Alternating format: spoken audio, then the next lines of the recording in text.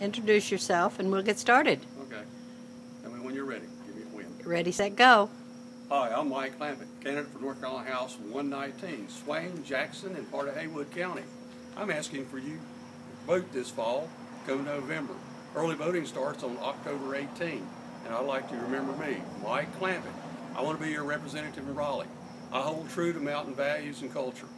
I am pro-life, pro-Second Amendment, and I believe in personal property rights. I need your help.